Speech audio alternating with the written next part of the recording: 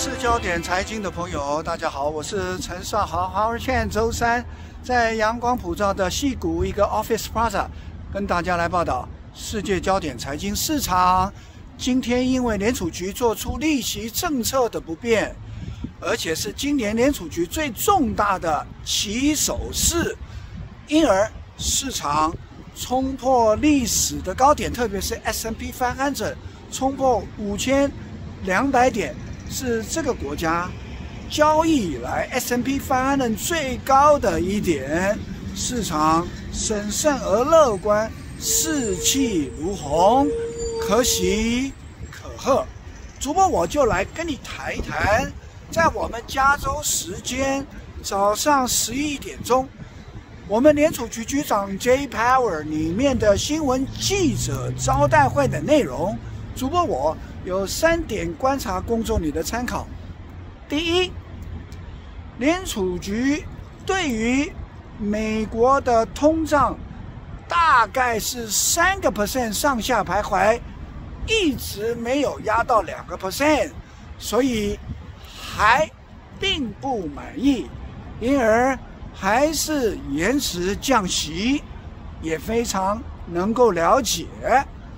第二个。观察，联储局对于美国的经济非常有信心，非常有底气，而且调整提高今年 GDP 从一点四个 percent 到二点一个 percent，所以可以说我们美国的经济还是一样非常的好，因而联储局有底气。延迟降息，第三个观察，那降息的幅度有多大呢？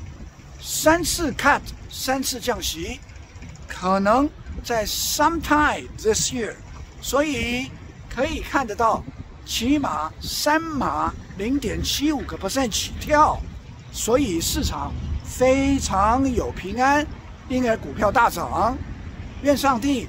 持续的给联储局有聪明有智慧，持续的能够 balance 成长跟风险，因而美国的经济能够帮助全世界的经济。智慧人的话语，那就是你必须保守你的心，胜过保守一切，因为一生的果效由心发出。愿上帝。保守你爱上帝的心，因而有聪明有智慧，继续的能够布局二零二四年的投资。好一见陈少豪，周三在阳光普照的戏谷一个 Office Plaza，跟大家来报道世界焦点财经。我们下次见。